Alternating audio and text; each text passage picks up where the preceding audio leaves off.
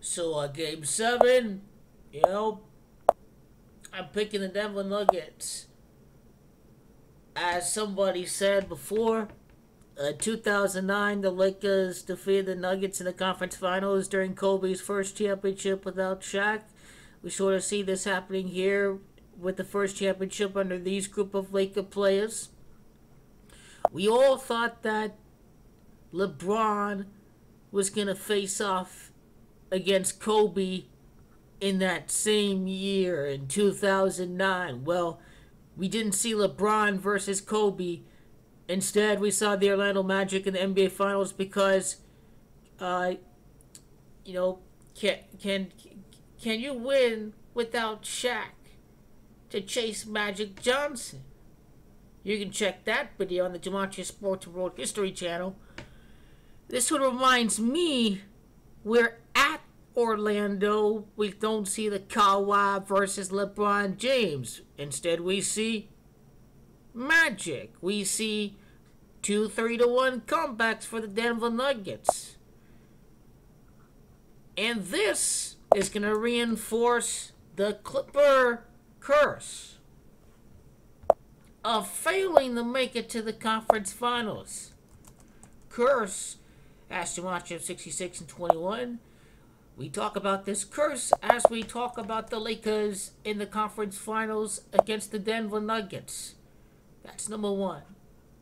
That's exactly why the LA Clippers are going to lose. We talk about the Walton family the Walton family own the Denver Nuggets. Walt Disney founded Disney. The Waltons own the Denver Nuggets. So I remember that was, this was Frank Lucas that said that. And Walton Kroenke. I remember the Walton family and now a Kroenke. So a big win for the Rams on Sunday Night Football, and now a, an Arsenal winning in the first week of the Premier League season. So I think uh, going to continue to see his clubs win this week. So this is why we see the curse. We see the curse of failing to make the conference finals when we see the LA Lakers in there instead. Right?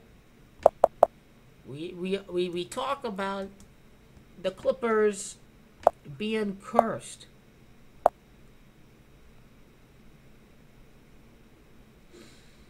It would be their 29th loss of the season for the LA Clippers.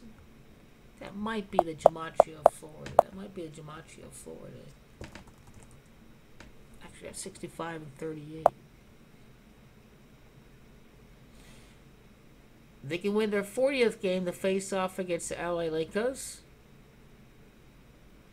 The Nuggets can win their 54th game of the season before taking on the Lakers. They can win their 37th game against the conference, the Denver Nuggets. See, number one against number three, that's the gematria of LA.